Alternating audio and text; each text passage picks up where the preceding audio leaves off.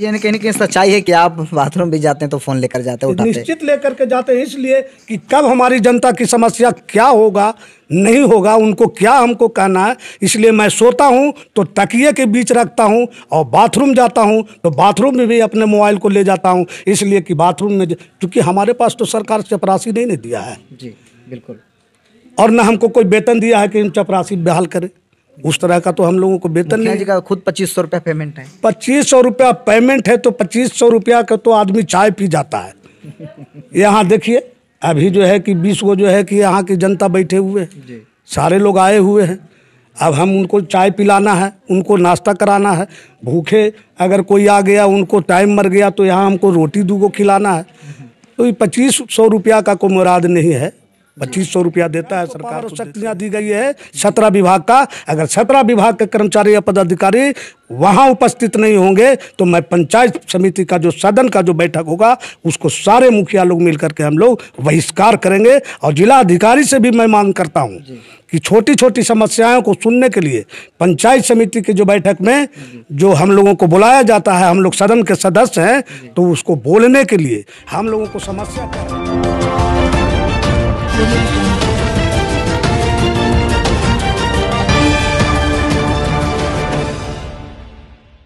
कहीं ना कहीं मुखिया जी जो हैं कि दो घंटा और कम कर दिए यानी छः घंटा सोते हैं, आराम करते हैं, ऐसा इन्होंने ये दावा किया है। इसमें कितनी सच्चाई है तो मुखिया जी ही जाने, पर मुखिया जी जब हम आ रहे थे तो कुछ लोग का ये भी कहना है कि मुखिया जी अगर बाथरूम जाते हैं तो फिर फ़ोन लेकर जाते हैं, यानी कॉल रिसीव कर लेते हैं, जहाँ भी होते हैं कॉल रिसीव करते हैं। और कहीं कहीं ये भी पंचायत में शिकायत आता है कि मुखिया जी कॉल रिसीव नहीं करते और आप तो हैं कि बाथरूम में भी कॉल रिसीव कर लेते हैं, क्या सच्चाई है इसमें? देखिए, हमारा मानना है कि हमारे पास कुछ नहीं है। हम भी एक गरीब परिवार से आते हैं, एक मध्यम वर्ग के किसान के बेटे हैं।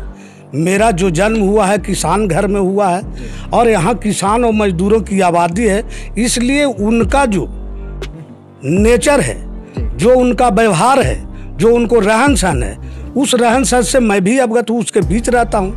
तो हमारा, हमको मानना है कि जब तक के जनता की समस्या हम रात दिन नहीं सुनेंगे।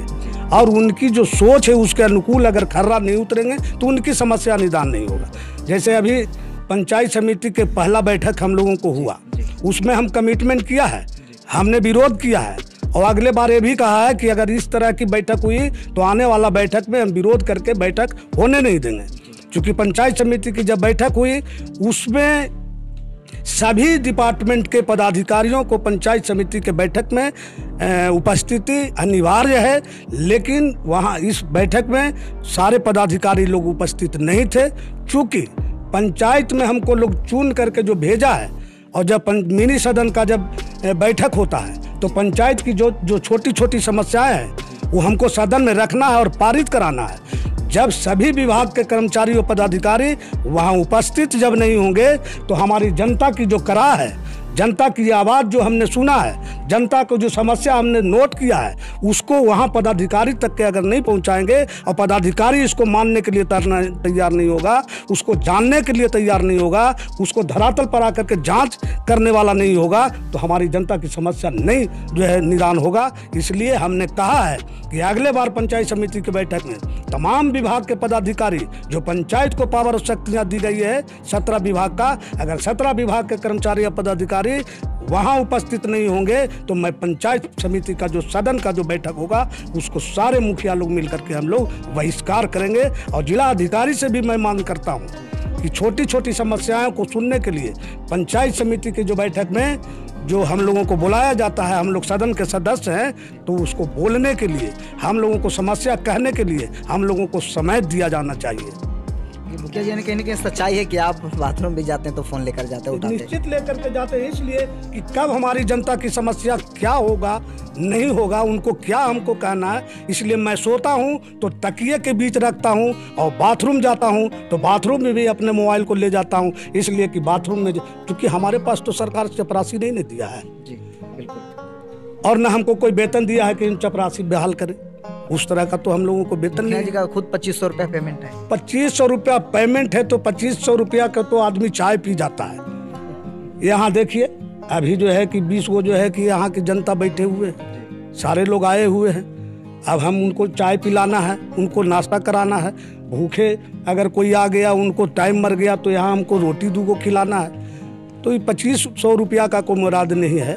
पच्चीस सौ रुपया देता है सरकार तो देते रहे। जी पंचायती राज विभाग और अपने जो मंत्री जी हैं सम्राट जी क्या कहना चाहेंगे हमारे चैनल के माध्यम से? उन तक अपनी बात क्या रखना चाहेंगे? मैं सरकार के मंत्री और खास करके पंचायती राज मंत्री माननीय सम्राट चौधरी जी से मैं कहना चाहता हूँ कि आप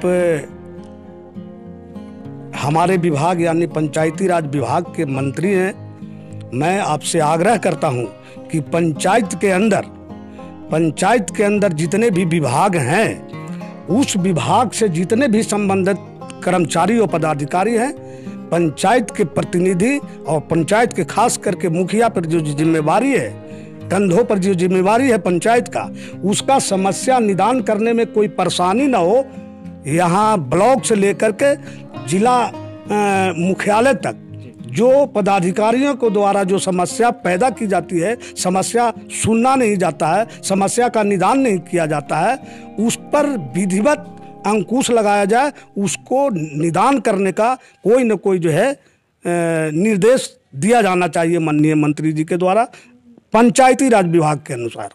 बहुत बहुत धन्यवाद मुखिया जी। जैसा कि मुखिया जी ने तमाम मुद्दे पे चर्चा किया और सरकार से भी मांग की है। और जैसा कि सरकार का भी निर्णय लिया गया था कि सभी मुखिया को सुरक्षा प्रदान करेंगे, जैसा कि तमाम चार पाँच मुखिया का जो है कि हत्या भी कर दी गई है। तो मुखिया जी से और भी जाना चाहेंगे कुछ और कहना चाह रहे हैं